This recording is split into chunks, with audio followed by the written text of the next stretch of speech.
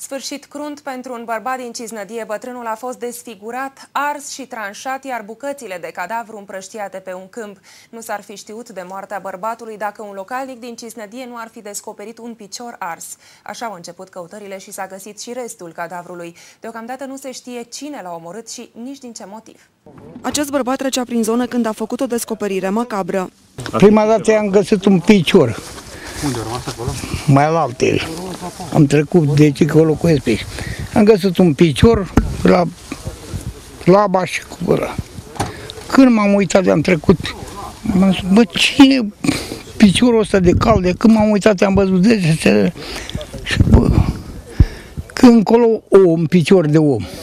Au început căutările, restul cadavrului a fost găsit pe același câmp, într-un șanț. Am văzut o potecă pe iarbă, o dâră, ca lumea. Păi m-am dus pe dâra aia, când erau pe hici. M-am dus pe dâră, pe dâră, pe coasta acolo s-a văzut o groapă și când îl văd, îl văd un om mai blond, un cap mare, dar de la distanță m-am dus aproape să îi iau urbele așa.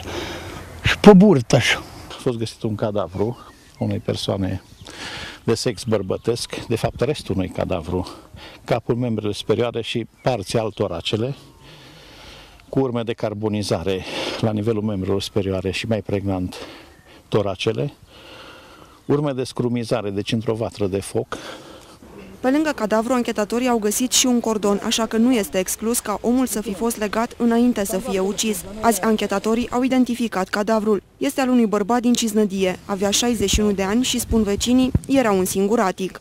Ce am auzit de la uh, poliție că a fost lovit în cap cu ciocan și cu fier, cu fier ceva și că i-ar fi tăiat picioarele și au încercat să-l ardă. În rest, când am văzut poza, m-am șocat, era desfigurat. Era un om cum se cade, era pensionar. De ce credeți că a fost omorât? Pentru bani, cred, cum vorbește lumea. Păi luase pensia în ziua aia, probabil. Un vecin liniștit, singur, soția era plecată la fică sa la, în Germania ca să o ajute cu copiii, cu nepoții. El era tot singur. Se plimba pe stradă, liniștit. Nu vorbea nici dacă era treaz. Dacă lua un pahar mai zicea bună ziua, dacă nu, nu. Necropsia a confirmat că bărbatul a avut o moarte violentă. Dacă va fi prins, autorul crimei riscă până la 25 de ani de închisoare.